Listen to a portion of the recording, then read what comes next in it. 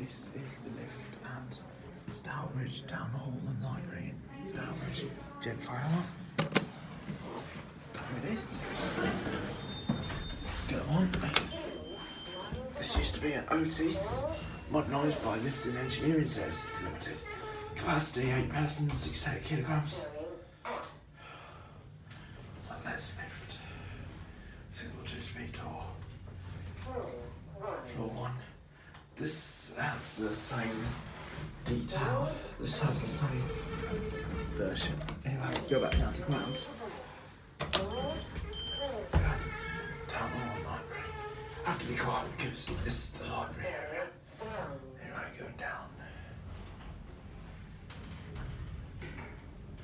Ground. Ground floor. on the ground. And that's it.